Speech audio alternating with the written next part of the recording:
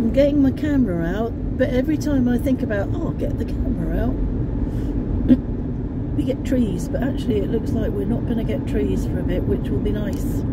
We have just come away from McBride where we went to a Chinese restaurant and had um, way too much food, probably full of MSG, so we're going to know about that later.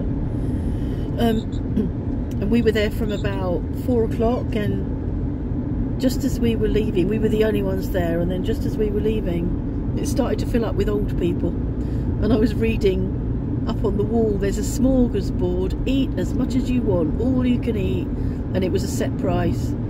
It starts at five o'clock, so we missed it by an hour. Um, but that's okay because we couldn't have eaten. But Mark, as it is, he's come away with um, sweet and sour chicken balls, and we had some hot ginger beef, which really caught me in the back of the throat, and a small bit of special fried rice.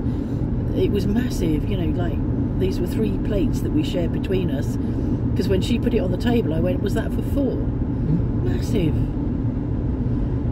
So that's us fed, and by the time we get to Jasper, which is about two hours on Alberta time, hmm? no, hold on, on British Columbia time, but we're going to go through a bloody time zone again, going back the other way. So three hours if you include the time zone, time change. So anyway, it's going to be about a couple of hours to Jasper, so we're going to go straight to the hotel and collapse, I think. Oh, you're up to trees now. Going to collapse and. Chill, look at the view. There's a patio, I think, with the room that I booked. Not a cheap room, so hopefully we'll have a nice view. It's 20, is it 27 centigrade out here? I think so. Unbelievable. like, I don't know. But the, the problem is, if I'd said to somebody, we're coming in May, what clothes do we need? They wouldn't have known that this was going to be the weather, you know. So, anyway, I've got sleeveless top on, Mark's got a short sleeve shirt on, and we've got the aircon on. Not what we expected at all.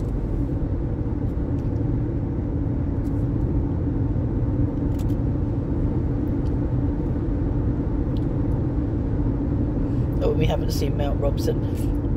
I got a message from Gary and I said, you know, told him what was going on and said, you know, not sure if we, you're nowhere near Mount Robson. And it will be well signposted because it is a massive landmark, so we won't miss it. And looking at the peaks that we're coming past now, I can see that they've got more snow on them, so hopefully Mount Robson will have snow on it. We just come past a whole load of fire damaged um, mountain quite a big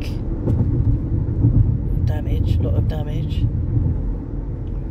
Just gone over the Fraser River again. We keep going over the Fraser River. I was too quick to show you. Or it was too quick to show you.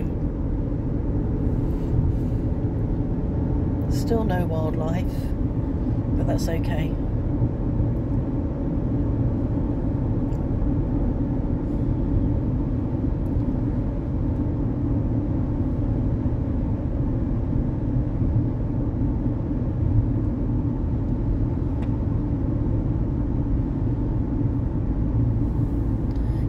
A bit.